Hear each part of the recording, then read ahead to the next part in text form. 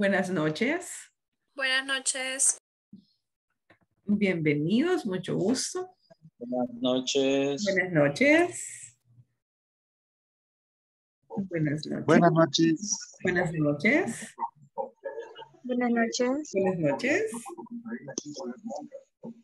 Buenas noches. Buenas noches, bienvenidos, mucho gusto.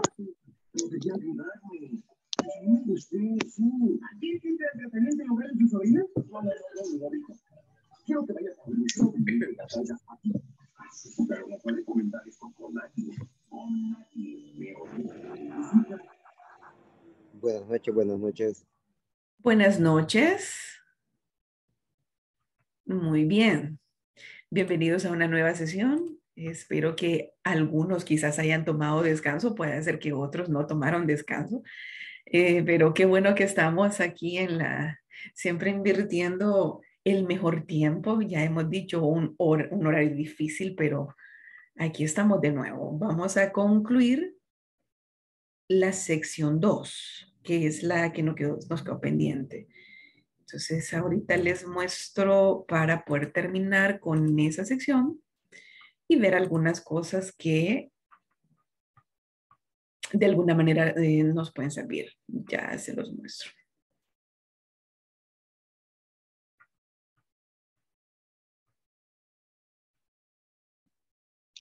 Buenas noches, con permiso. Buenas noches, adelante. Gracias. Ok, bien, les muestro entonces que para este día, para los que ya tengan como un poquito de experiencia en el programa y trabajen bastante con esto, entenderán que cuál podría ser esa diferencia entre las funciones y las fórmulas. Algunas ventajas, algunas desventajas. Y pues, claro está, si usted utiliza una función, podrá ver que eso es como lo más natural en Excel y eso es lo que nos facilita el trabajo en la hoja de cálculo. Utilizar funciones. Por supuesto, utilizamos fórmulas cuando a lo mejor queremos hacer cálculos rápidos y pues ahí vemos cómo va la fórmula, la editamos, la escribimos y pues funciona. Pero hay algunas veces que las fórmulas salen como un poco más grandes y para eso pues la función nos ayuda en ese trabajo, para que una fórmula no nos quede tan larga o como para no hacer operaciones a pie, como decimos, sino hacerlo mediante funciones. Entonces aquí tenemos la principal diferencia entre función y fórmula Excel. Es que una fórmula es una ecuación que el usuario escribe para obtener un resultado, mientras que una función es una fórmula predefinida para realizar operaciones más complejas. Y allí claramente está la diferencia visual entre la función y la fórmula. Las dos cosas están haciendo lo mismo. la función suma, aquí lo que está diciendo es que va a ser una suma de los valores que encuentre desde la celda B3, dos puntos, que significa hasta la celda B6. Es equivalente a hacerlo sin una función. Entonces uno dice, ah, lo voy a hacer a puro teclado, porque esas son las fórmulas que, o las celdas que quiero sumar. Vamos haciendo clic en los valores de B3, B4, B5, B6. Este es un poco más largo que hacerlo con una función pero debemos entender algunas cosas que interpretar, por ejemplo, algunos errores. Este mensaje que se muestra acá es como el más común. Cuando introducimos una fórmula en una celda puede ocurrir que se, perdón, que se produzca un error.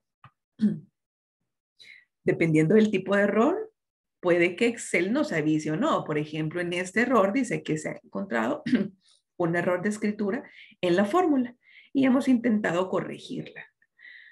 Uh, algunas veces hay errores, y, pero digamos que este error todavía nos pregunta que si desea aceptar la corrección, entonces nos fijamos y decimos, sí, quiero aceptar la corrección. Algunas veces es porque no hemos cerrado paréntesis, porque a lo mejor nos hemos equivocado en tipos de datos. Entonces, algunas veces nos dice que hay corrección, pero algunas veces tenemos que verlo por nosotros mismos. Entonces, dice que podemos detectar un error sin que nos avise. Cuando aparece en la celda un símbolo en la esquina superior izquierda similar a este. Cuando encontremos entonces una celda con este tipo, podremos saber que algún tipo de error hay. Entonces nosotros exploramos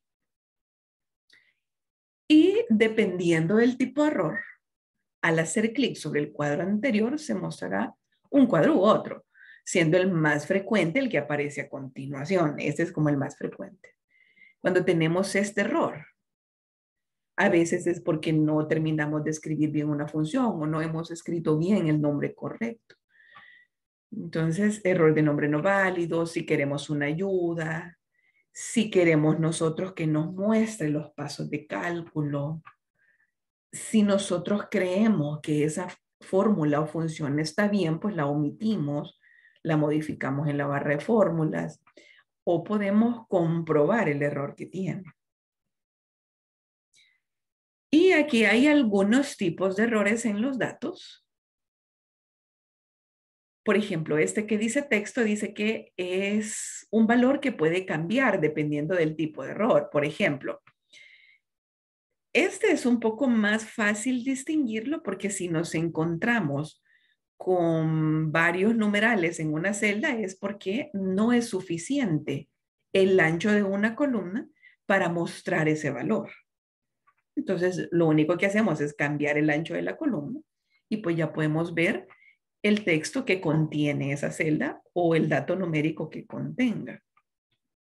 Luego tenemos valor, que cuando se ha introducido un tipo de argumento de operando incorrecto, como puede ser suma textos. Entonces, eh, digamos, si no hemos asignado un nombre de celda y nosotros le ponemos uno más, ah, más KM, entonces nos va a dar ese error a menos que lo hayamos hecho en formato personalizado o le hayamos dado nombre a la celda. Y claro está que no podemos dividir un número entre cero, nos va a dar este error. ¿Qué más hay? Aquí es cuando Excel nos reconoce el texto de la fórmula, nos hemos equivocado en la digitación, no lo hemos escrito bien. Aquí es cuando el valor no está disponible, puede ser que la fórmula esté referenciándose a otra celda y puede ser que la celda esté vacía, entonces dice este valor no está disponible.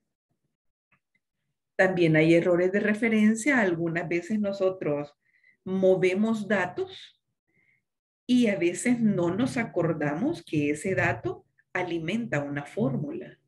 Entonces, cuando lo movemos, la fórmula se queda esperando o la función se queda esperando que en esa celda había algo y ahora ya no hay nada. Entonces nos da un error de referencia. Y no, este error es cuando se escriben valores numéricos no válidos en una fórmula o función. Y nulo cuando se especifica una intersección de dos áreas que no se intersectan. Quizás ya hablando de funciones, eh, funciones de búsqueda, funciones matriciales, quizás cuando hablamos de este tipo de error. Pero veamos lo, más básico y veámoslo acá. Veamos esta explicación. Hoy vamos a estudiar algunas funciones básicas y también vas a aprender sobre la diferencia que existe entre las funciones y las fórmulas en Excel.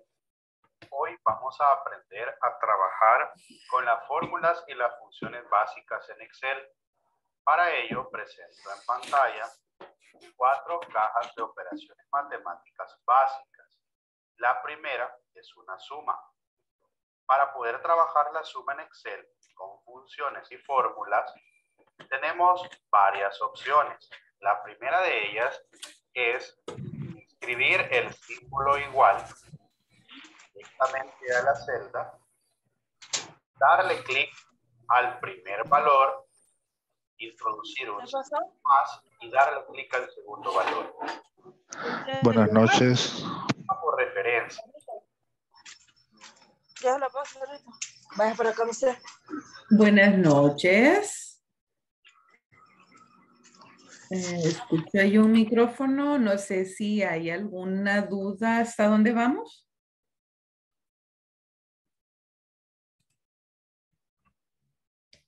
Ok, vamos a continuar entonces. En todo caso, es una fórmula, ya que las fórmulas son aquellas que escribimos directamente a las celdas. Ahora voy a mostrarles la función. Voy a borrar este resultado. Ahora voy a escribir la función. Vamos a colocar igual suma. Y aquí nos aparece un pequeño asistente que nos sugiere algunas funciones con el nombre suma. Para poder seleccionarlas, basta con darle doble clic a la función que nosotros queremos utilizar. Por ejemplo, la suma. Nos aparece aquí un asistente que nos va a dar indicaciones de cómo ir escribiendo los argumentos en la sintaxis de la función. Por ejemplo, nos dice aquí número uno, punto y coma, número dos, punto y coma y tres puntos suspensivos. Esto quiere decir que hay algunas funciones que podemos introducirle una gran cantidad de argumentos en su sintaxis. O también podemos utilizar solamente un argumento en su sintaxis.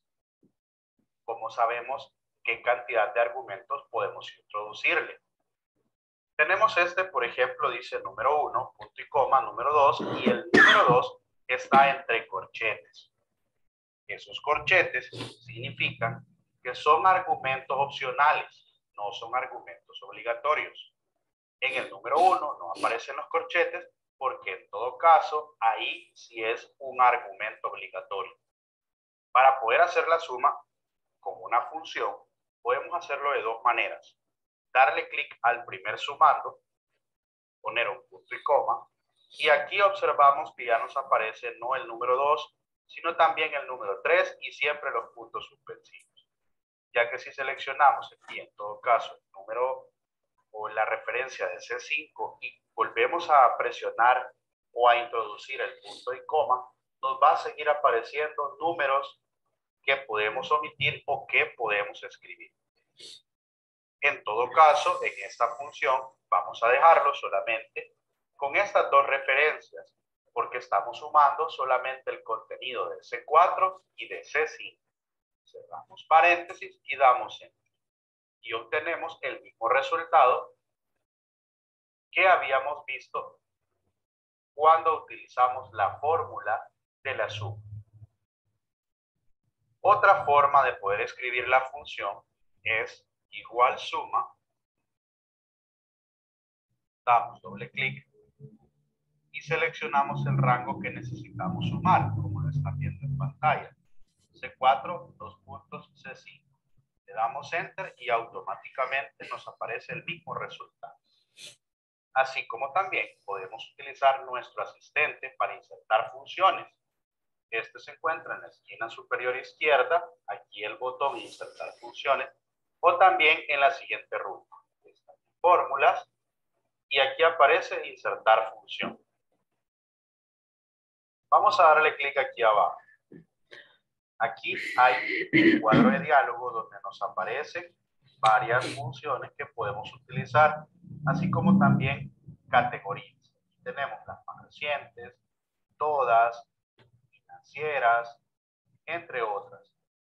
La suma es una función matemática. Por lo tanto, podemos encontrarla aquí. Suma. Damos clic aquí en aceptar y nos aparece lo siguiente. Aquí están ya los rangos. Ahora podemos darle clic en cada uno de ellos y vamos a obtener en esta parte algunas vistas previas. Cada vez que ingresemos un valor o un argumento, nos va a aparecer otro argumento más porque generalmente es infinito el ingreso que podemos hacer. Bueno, en este caso aquí nos aparece que son 255 números que podemos sumar. Pero recuerden que no solamente son 255 números, porque podemos sumar conjuntos numéricos, como lo habíamos mostrado anteriormente. Por ejemplo, así. Quiere decir que si hacemos esto, no van a ser solo 255, sino más. Le damos a aceptar y listo. Ya tenemos la suma. En cuanto a la resta, no existe ninguna función resta, pero sí podemos utilizarlo con una fórmula. Damos clic en el minuendo, menos el sustraendo y le damos cero. Para la multiplicación vamos a hacerlo algo así como lo hacíamos en la suma. Vamos a darle clic en la celda, vamos a ingresar igual, luego le damos clic en el número que queremos multiplicar y en esta oportunidad tenemos que escribir un asterisco, que es el símbolo matemático que Excel reconoce como multiplicación. O también podemos utilizar la función. Pero en este caso no se llama multiplicación, en este caso se llama producto. Hacemos esto y le damos Enter. Y automáticamente tenemos la operación matemática deseada. En la división, al igual que en la resta, no existe como función.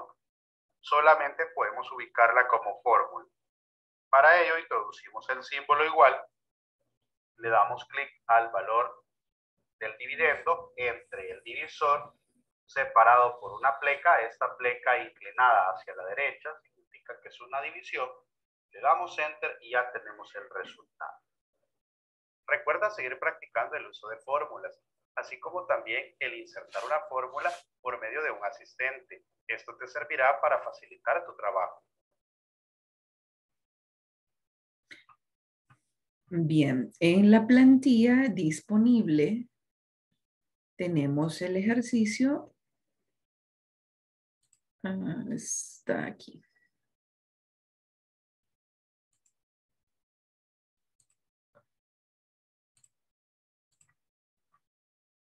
Entonces, claro, ¿verdad? Estos son como las súper básicas, las súper sencillas.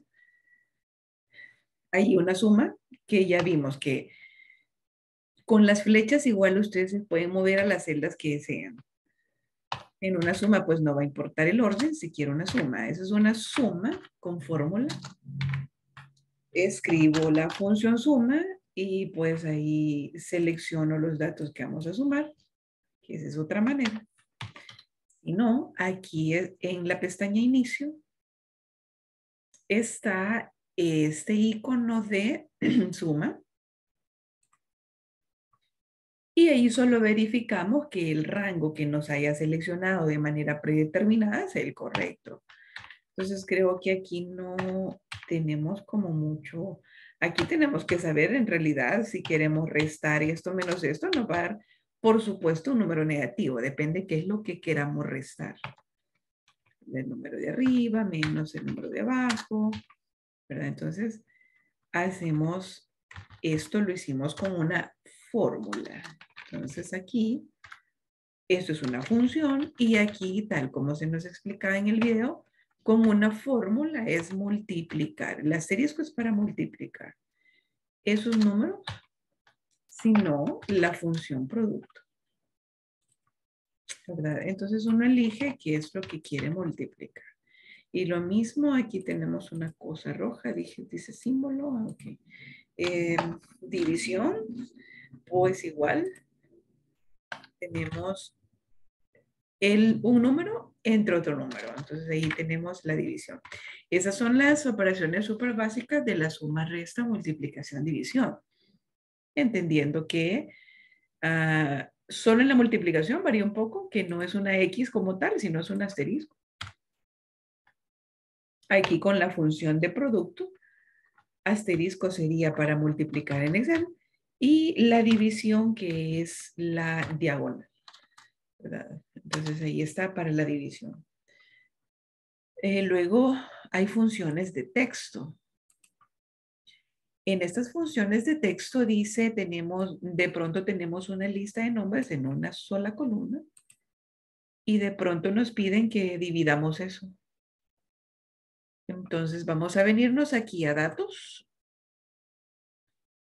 Texto en columnas. Ah, aquí. No se seleccionaron datos. Hay que seleccionar los datos que vamos a convertir en columnas. Nos vamos a venir aquí a texto en columnas.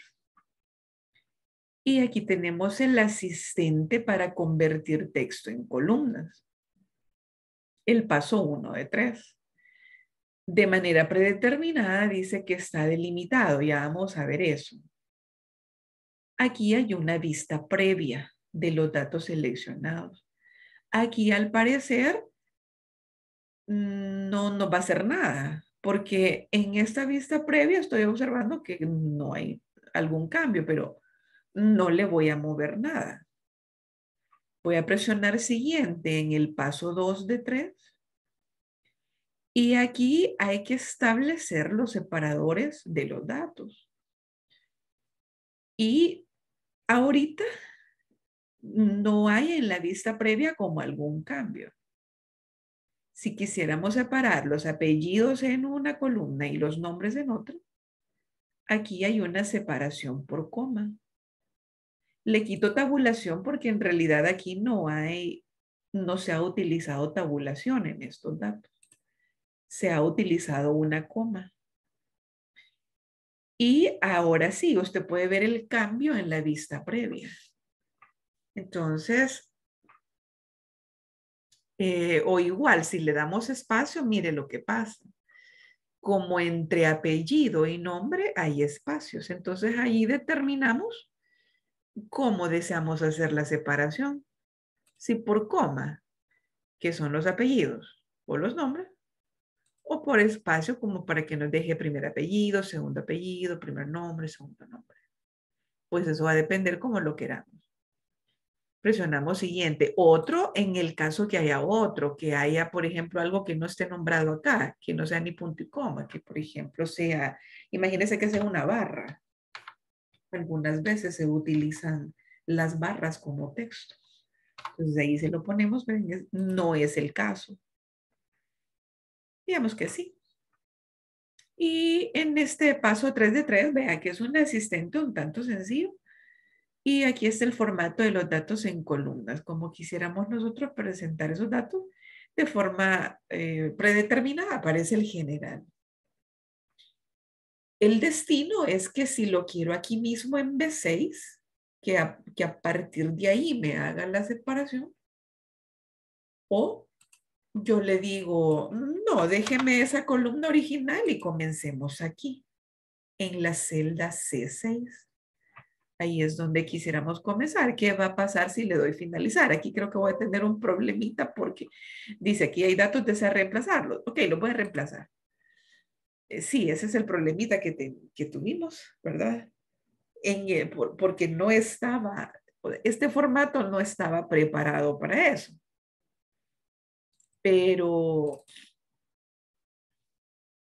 podemos agregarle bordes en el caso que lo deseemos así. Y si no, pues lo cambiamos, ¿verdad? Allá en el, en el, digamos que no, ya no queremos, no nos interesa esta columna del, no, porque para eso están separados, entonces no tuve que haberle movido la referencia. Entonces, ahí es como tenemos que ir viendo en realidad algo que se ajuste a lo que queremos. Entonces ahí ya hizo una separación de cómo usted quiera separarlo. Ahí usted decía. Luego tenemos la función concatenar. Para concatenar existe, por ejemplo, la, forma un poco más básica, que es el operador de concatenar. Selecciono yo la celda. Aquí vamos a hacer lo contrario nos dan los nombres separados en columnas y nosotros queremos en una sola columna, al contrario de aquí. Entonces, selecciono la celda y hay eh, un símbolo que sirve para concatenar, que es el ampersand, que ese se lo muestra con Shift 6. ¿Qué va a pasar si yo hago eso? ¿Qué va a pasar si yo dejo eso así? Pues hace eso.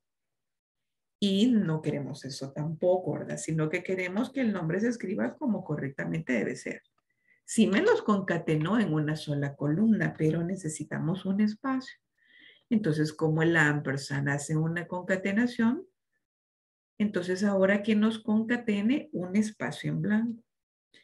El espacio en blanco tengo que especificarlo entre comillas y vuelvo a poner el ampersand porque lo que hace es que toma el valor que está en esta celda, le damos un espacio en blanco entre comillas, que eso es lo que queremos que haga la separación, y que me lo una o que me lo concatene o que me lo pegue con el valor de la otra celda. Entonces ahí ya tenemos, y si nosotros hacemos ese arrastre, pues ahí no es así. Aquí es con este. Y mucho ojo también con eso, ¿verdad? Cuando vayamos a, a mover datos. Por accidente yo lo moví así.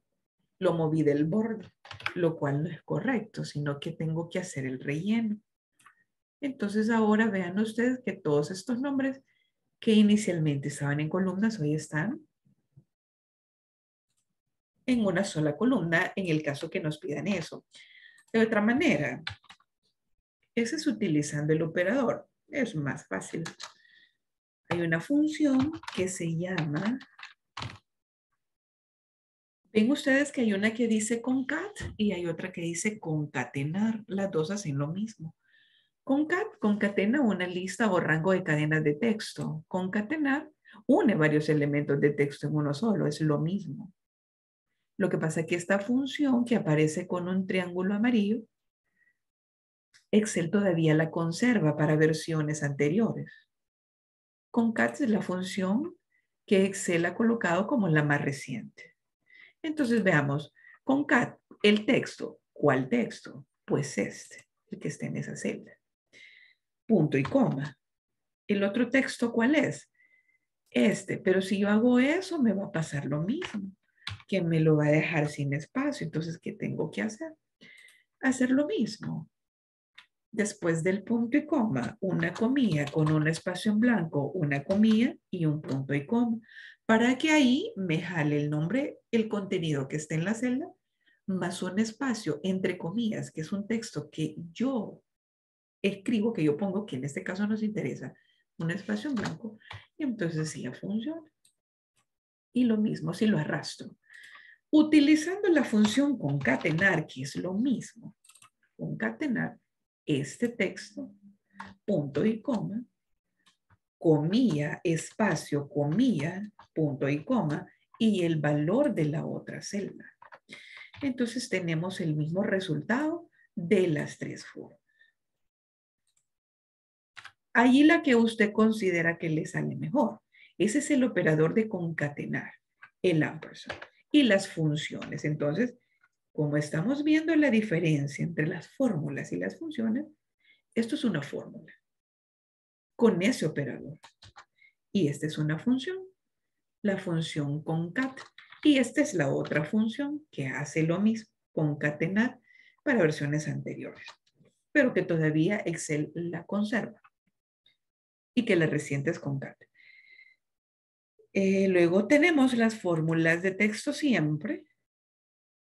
Si quisiéramos que estos textos aparecieran en mayúsculas, no es que los vamos a estar digitando otra vez, sino que existe una función que se llama mayúscula. ¿Y a qué texto quiere que le apliquemos la mayúscula? A este. Entonces ahí nos devuelve la mayúscula hay una función que se llama minúscula. Entonces, la función minúscula hace exactamente eso. Tenemos textos en mayúsculas y los queremos convertir a minúscula, pues ahí está. Este tipo de oración es el mismo que el nombre propio. El nombre propio nos deja la inicial mayúscula. Porque fíjese que así, así que haya una función de tipo oración, Mm, no, yo no la he encontrado, no la he visto, ya las probé. Y aquí dice nombre propio. Entonces la función se llama nom propio. ¿De cuál texto? De este texto. Entonces, ¿qué hace? Nos deja, como nombre propio, nos deja las iniciales mayúsculas de las palabras. Entonces, esas son algunas cosas que podemos utilizar.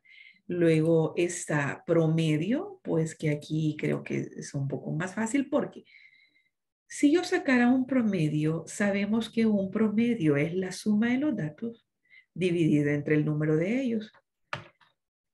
Si yo tengo claro eso, pues yo hago eso, pues sumo los datos. Esto es una fórmula. Ah, solo son esos tres datos. Y los divido entre tres. Solo que yo voy a tener un problema porque ahí lo primero que va a hacer es que me va a dividirse 5 entre 3 y después va a hacer una suma. Entonces, muy posiblemente ese promedio no sea el correcto. Entonces, para indicarle a Excel que lo que necesitamos primero es que nos haga la suma y luego de la suma nos haga la división. Ponemos paréntesis a la suma y luego dividimos entre 3. Entonces, ahí sí, ¿verdad? Porque teóricamente ya sabemos cómo calcular un promedio, pero para eso está la función. Imagínese que tenga usted muchos datos. Entonces no va a estar uno por uno. ¿Y cuántos eran? Entre mil. Entonces tenemos una función que lo voy a hacer ahí en la segunda celda, que está la función promedio, dentro de las funciones básicas. Cuando usted se viene a este icono de aquí, estas son las funciones básicas la suma, el promedio, contar números, máximo, mínimo. Y ya de ahí en más funciones nos va a aparecer, perdón, nos va a aparecer las categorías. Entonces aquí utilizamos promedio. Ojo, con esto hay que, tener, hay que prestar atención porque mire qué es lo que me está marcando para promedio. No necesito eso.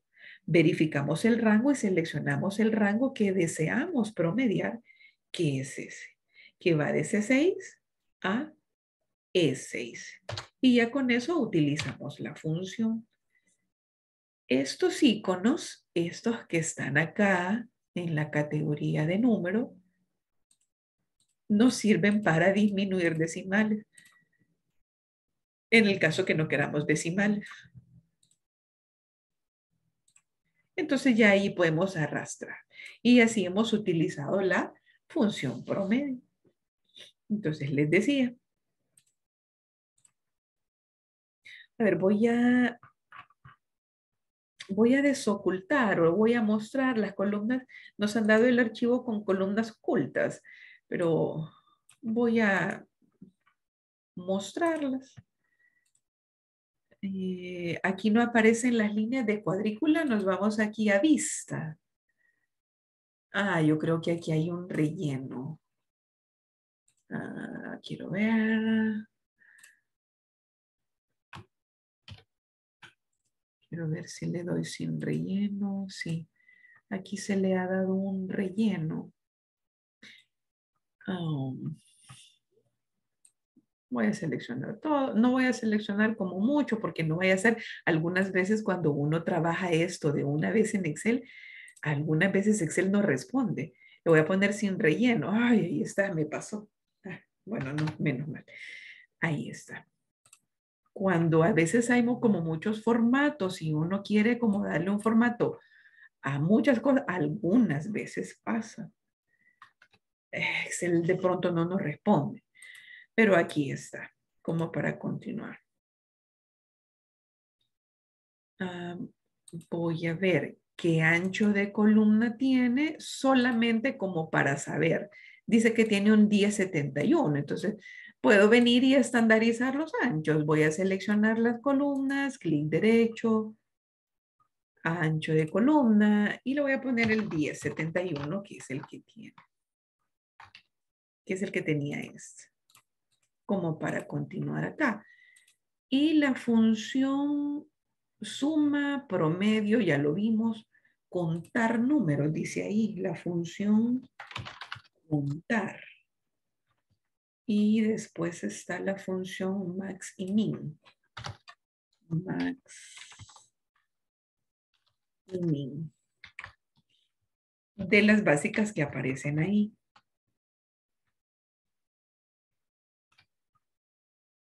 Ahí solo le pongo borde. Entonces, ¿qué hace esta de contar? Muy probablemente tenga el mismo resultado para todos, pero veamos qué hace. Esta función contar,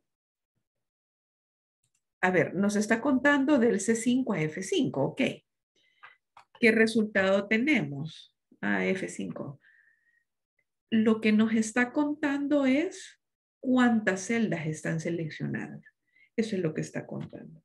Entonces, si no solo le pongo F5, sino que le pongo hasta E5, que son las notas que me interesan, aquí quizás no va a tener mucho sentido hacer el arrastre porque lo mismo me va a contar.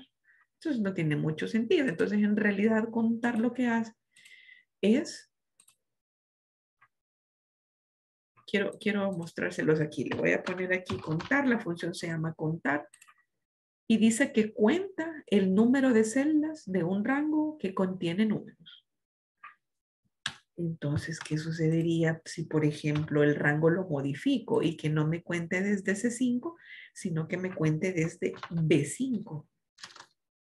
Vea, no me la tomo en cuenta porque esta función únicamente cuenta celdas con números. No tiene sentido más, lo voy a dejar así porque eso es lo que hace contar en una sola en una sola función. La función max es un nombre lógico también, que la función max, claro, lo puedo escribir desde acá o venirme aquí a la función. ¿Qué números quiero saber? El máximo de estos números, que esas son como las, los números que me interesan, las tres notas. Ok, ahí están los máximos de los números, los la máxima nota de cada uno de los estudiantes en el ejemplo. Y para mínimo, perdón, para mínimo, pues entonces igual, si yo selecciono la función min, yo tengo que fijarme cuál es en realidad el rango de datos al que le vamos a sacar el min. Entonces, me interesan nada más las tres notas. Entonces, me va a dar la nota más pequeña de esos estudiantes. Entonces, hago esto. Y pues ahí está. Tengo la nota máxima de los estudiantes y tengo la nota mínima de los estudiantes y tengo el promedio. Aquí dice total, pero en realidad aquí debería decir promedio. Depende de lo que queramos calcular. Entonces esas son las funciones súper, súper básicas. Vamos a ver algo más. En su Excel, para aquellos que puedan estar viendo Excel en este momento o lo ven mañana, lo ven otro día, Excel cuenta con plantillas. Y esas plantillas nosotros las buscamos aquí en archivo. Y aquí dice más plantillas. Entonces aquí donde dice buscar plantillas en línea, usted escriba fórmulas. Ahí en su Excel. Cuando usted escribe fórmulas, le aparece esta plantilla que se llama tutorial de fórmula o introducción a las fórmulas. Entonces, cuando usted hace doble clic allí, se lo muestro.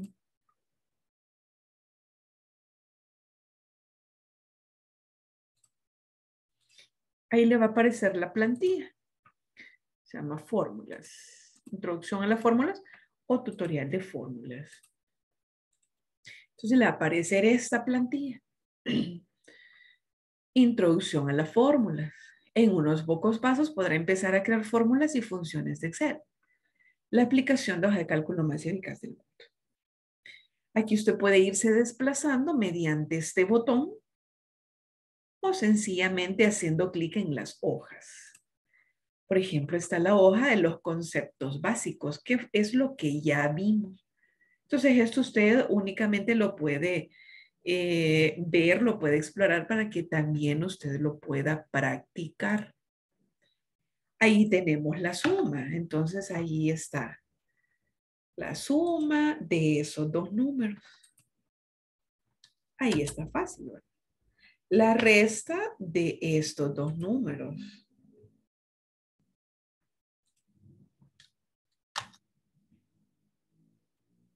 Ahí va a depender, ¿verdad? La resta, acuérdese que eh, quizás donde más se ve esto, esto de la resta y de los valores positivos y negativos, quizás es cuando este, ingresos y gastos o cuando los vendedores han, eh, les falta llegar a una meta o han sobrepasado una meta, puede ser que ahí eh, tengamos como el significado de los números positivos o negativos, pero eso va a depender.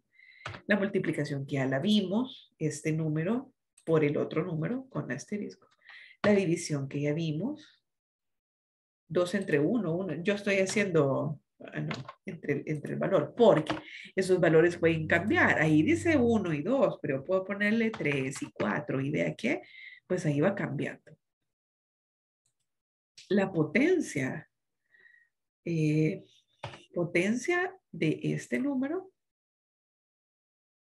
para la potencia con Alt 94, si tiene un teclado con el teclado numérico aparte, Alt 94, si quiere que nos muestre, ese se llama el acento circunflejo. Y allí puede usted tener la potencia de un número. Por ejemplo, el 1 y el 2, como lo tenía antes, 1 elevado a la 2, pues va a ser 1. Y allí puede ir calculando.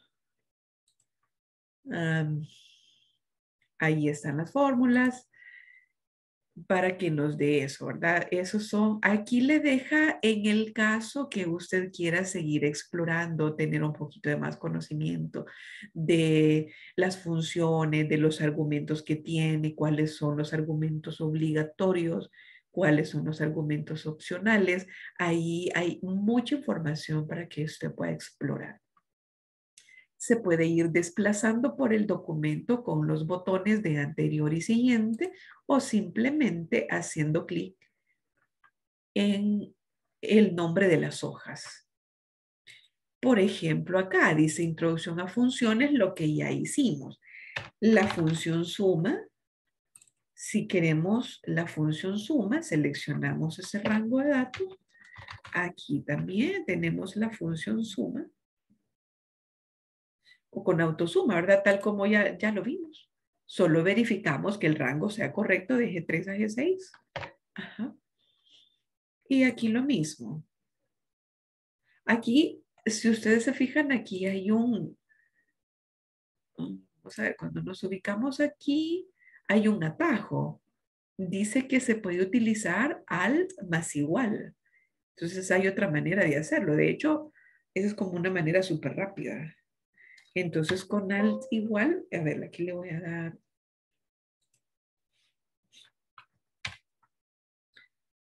Eh, no solo presionar alt igual, porque el igual generalmente sale con shift.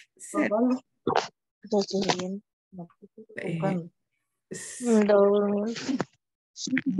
oh, ¿Tienen alguna duda?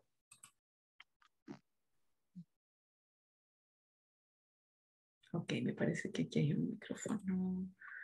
Y recuerde, ¿verdad? Por supuesto que todas las dudas las puede expresar. Puede interrumpir, no hay ningún problema.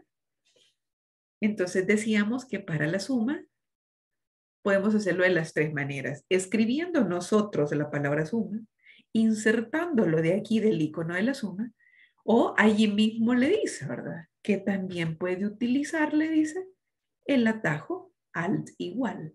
Solo que yo tengo que presionar al Shift igual, porque para que me salga el igual, presiono Shift. Entonces, solo verifico que ese en realidad sea el rango de la de 10 a la de 14. Y sí, ¿verdad? Ese quiero que sea el rango y eso.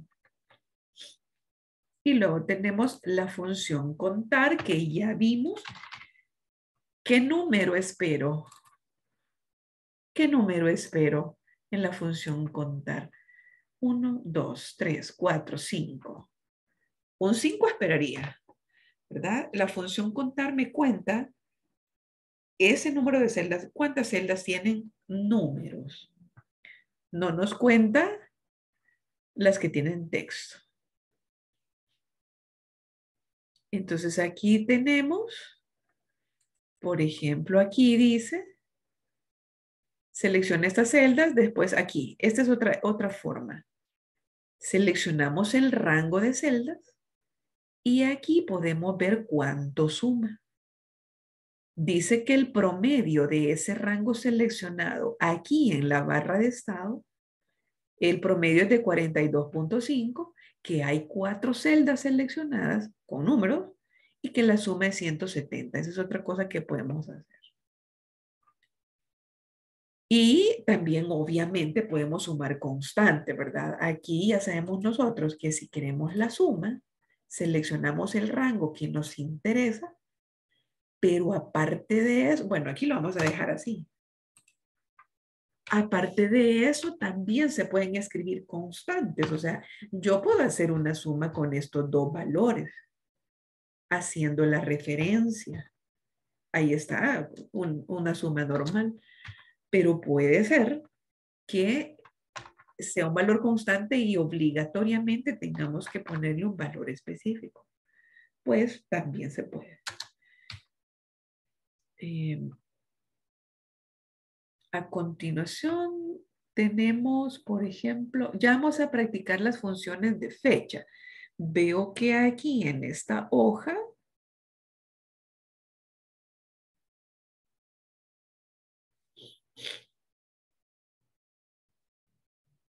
aparece una función que se llama hoy. La función hoy devuelve la fecha actual. Ya la vamos a ver. Cuando Excel vuelva a calcular, se actualizará automáticamente. Ya vamos a ver esa función.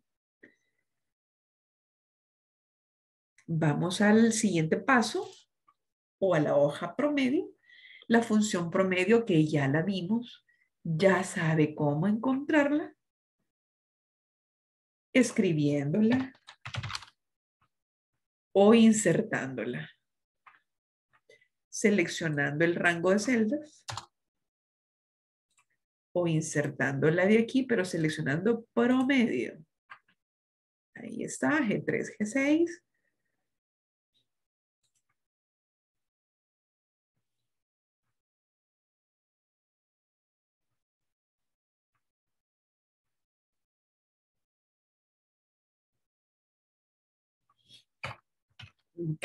Como más fácil le salga, ¿verdad?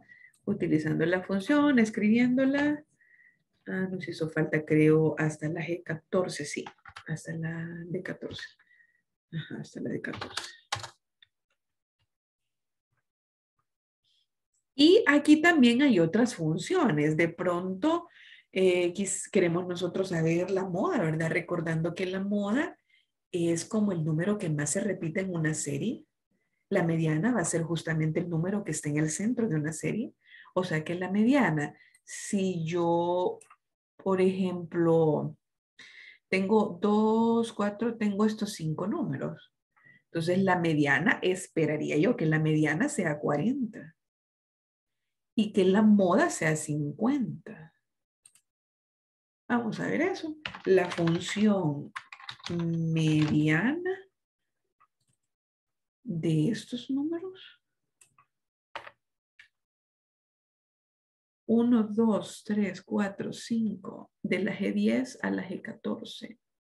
De la G10 a la G14. Sí, lo que pasa es que para la mediana, creo yo que eso sí es más estadística, creo yo que tiene que ordenar los números en forma, en forma ascendente. Y luego la moda, debería de darnos el número que más se repite, la función moda y la función mediana. Vamos a hacer una prueba. Voy a poner estos números aquí a la par y los voy a ordenar de menor a mayor. No, no quiero ampliar la selección, solo quiero ordenarlos a ellos. Entonces aquí voy a poner Ajá, por eso es que nos dio 50. Aquí se ve que el número del centro es el 40, pero en realidad la mediana lo que hace es ordenar los números de menor a mayor y da justamente 50, que es el número que está al centro de la serie. Y obviamente la moda, que es el valor que más se repite. Eh, luego, la función minimax, que ya la vimos. Recuerde, ¿verdad? A veces sale mejor venirse para acá a escribirla de una vez, seleccionar el rango para los mínimos, el rango para los máximos, mínimo 20, máximo 50. Y aquí pues mínimo o máximo, dice ahí, va, a depender de lo que se necesite. Dice, puede usar Minimax con varios intervalos o valores para mostrar el mayor o menor de los valores como mínimo. Se selecciona, vea que aquí se ha seleccionado dos rangos, no necesariamente solo uno. Entonces, y, lo mismo en el max. Se han seleccionado, se ha seleccionado un rango donde B1 contiene un valor de umbral como 10, en cuyo caso la fórmula no devolverá un resultado menor que 10. Eh, veamos. Seleccionando la función mínimo con dos rangos, seleccionamos de A1 a A10. Ah, pero no me voy a ir a 1 a 10 porque aquí en A1 a 10 no es cierto. Entonces voy a seleccionar estos valores y me dice que puedo agregar otra matriz, que sería esta, por ejemplo. Entonces me dice que me da un 20. Voy a escribir aquí, por ejemplo, un 5. Y me da exactamente, voy a escribir 20 eh, o voy a dejarle el 5 y a este le voy a poner 3.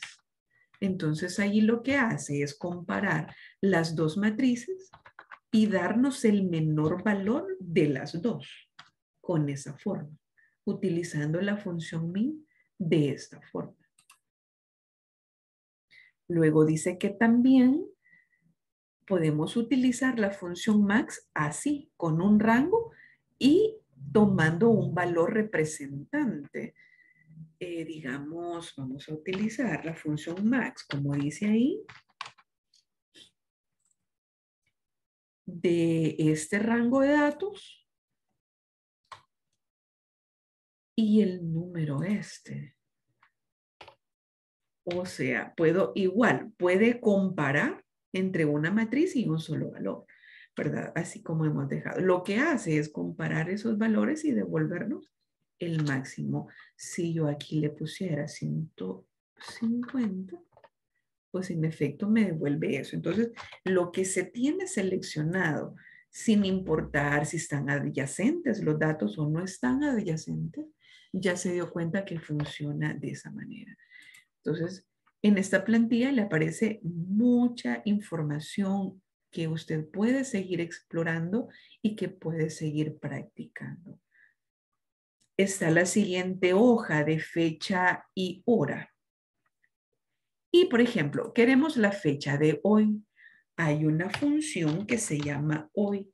Cada vez que nosotros abramos el, el archivo, no es que mañana vamos a encontrar el 19 de septiembre, sino que mañana ya vamos a encontrar 20 de septiembre.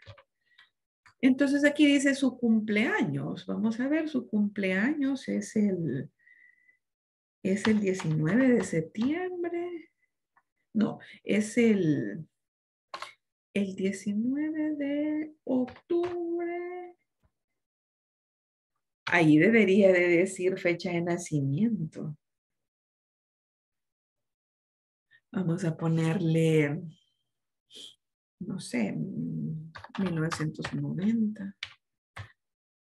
Entonces aquí en los días hasta su cumpleaños, fíjese que aquí ya aquí ya es un poquito más avanzado, porque si yo hago una simple resta, fíjese que me va a dar me va a dar eso. Entonces, digamos que yo voy a cambiar aquí algo que diga general.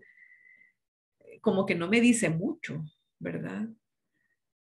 Este, yo puedo restar fechas, tal como lo hice aquí. Aquí me dio una fecha, pero esto no, no fue como tan funcional. Entonces tampoco esto de decirle, aunque allí dice días hasta su cumpleaños. Acá dice, si no desea que Excel muestre un número negativo, aún no ha escrito la fecha de su cumpleaños. Puede... ¿Qué dice aquí? Eh, puede utilizar, sí, aquí ya nos estamos metiendo como en otras funciones lógicas que usted la va a ver con más amplitud en el siguiente nivel, que dice, si de 7 es igual a nada, de 7. Si de 7 es igual a nada, entonces no muestra nada. En caso contrario, muestra de 7 menos de 6. Y esta es la función condicional. Ahorita lo que voy a hacer es únicamente copiarla y pegarla. Porque lo que se está diciendo con esta función es, si el valor que está aquí en D7 es igual a nada, es decir, comilla, comilla, sin nada. Separador de argumento. Entonces, que muestre nada. Comilla, comilla, o sea, que muestre nada si allí no hay nada. Pero si no, que haga la resta de D7 menos de 6. Entonces, lo voy a copiar, que es justo lo que he hecho. ¿verdad? Justo lo que hice de hacer una resta de...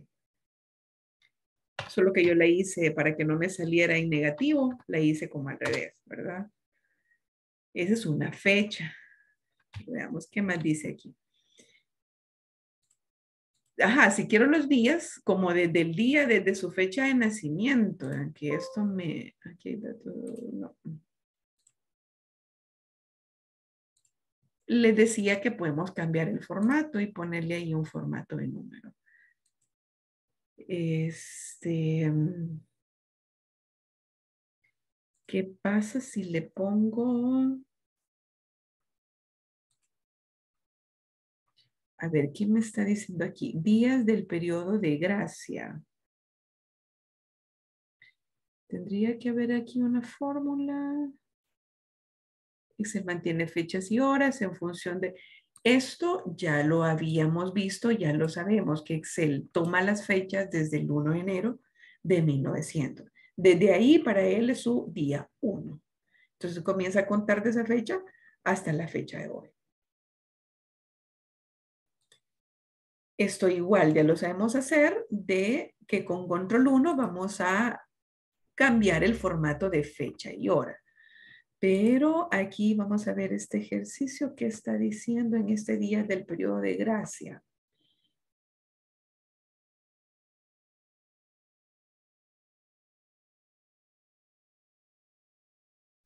Celda de 10. Aquí dice, supongamos que desea saber la fecha de vencimiento de una factura o cuándo tiene que devolver un libro a la biblioteca. Puede agregar días a una fecha para obtener la información en la celda de días, escriba un número de días aleatorio. Un número de días aleatorio.